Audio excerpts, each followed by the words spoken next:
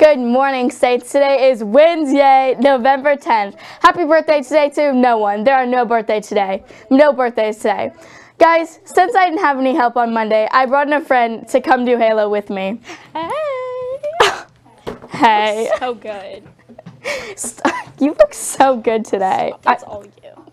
I, stop. Stop. All The saint right. today is Saint Leo the Great. Saint Leo the Great held strong convic- convictions about the importance of the Bishop of Rome and the Church, and viewed the Church as the persistence of Christ in the world, dedicated dedicated to the buildings up in all church areas. Saint Leo the Great was also a man of deep spiritual convictions.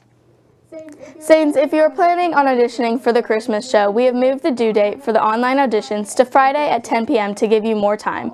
All audition materials are on the Google Classroom, and the code can be found at stasaints.net slash theater. Tryouts for basketball begin November 15th. See Coach Cooper Smith if you have any questions.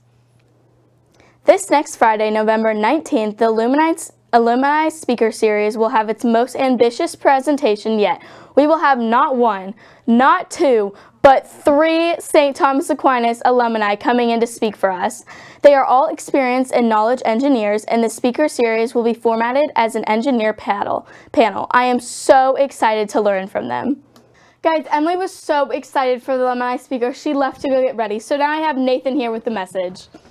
Hey guys, you want a little history lesson? so, on the 11th hour of the 11th day of the 11th month in 1918, an official armistice was put into effect that ended the fighting of the Great War between the Allies and their last remaining opponent, Germany.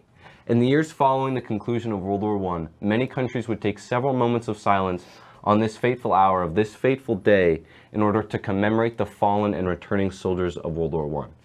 After the end of World War II, individuals and communities celebrate November 11th to honor all veterans, not just those that participated in World War I. Eventually, in 1954, Congress passed a bill proclaiming November 11th as Veterans Day. To celebrate this momentous day, momentous day of remembrance, the One Nation Under God Club will have cards available at lunch to write letters of thanks to our veterans in our parishes, at the VA hospital, and at our local VFW on Flum. Thank you so much, Nathan, for that amazing lesson. Thank you, Emily. Guys, on the menu today in the Saints Cafe, Chinese buffet. Now it is time for the fun fact of the day. Whoa, whoa, whoa, I got the perfect one. Did you know that it was actually U.S. Representative Edward Rees of Kansas that proposed the bill that would ultimately change Armistice Day to Veterans Day? That's a Kansas thing. Wow. Veterans I, Day is a Kansas thing. Nathan, I didn't I just didn't know that. That's why I told you. Thank you so much for watching a Halo Morning Show. We'll be back with more for you next week. I'm Emily.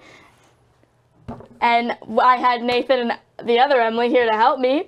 Signing off. Remember, stay classy, Saints, and create while you're here.